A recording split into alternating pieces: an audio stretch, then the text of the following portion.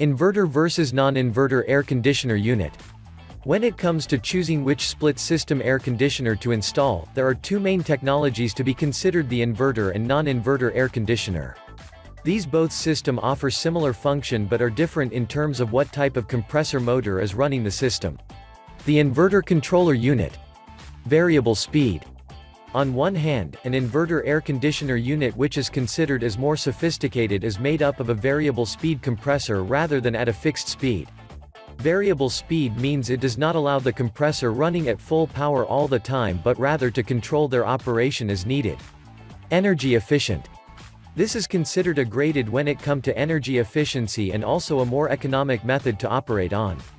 This means that for the inverter model, the cooling and heating is automated in an energy-efficient and smooth manner. Quiet sound.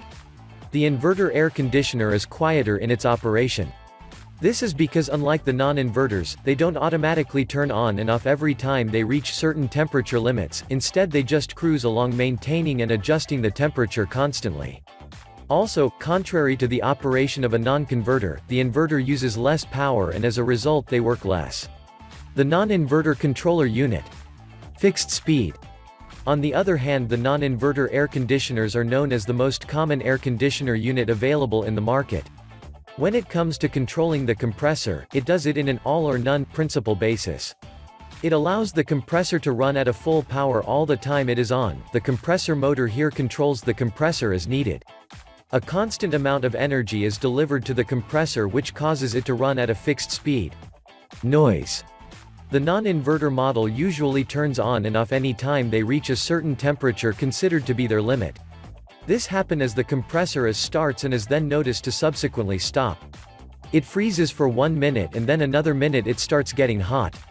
As a result of this turning on and off to reach certain temperatures, the system is made to work harder and is also made to produce a whole lot of noise. Costs less. These air conditioners are significantly less costly compared to inverter air conditioner unit. Installing this model will cost a little above what the inverter air conditioner unit will cost.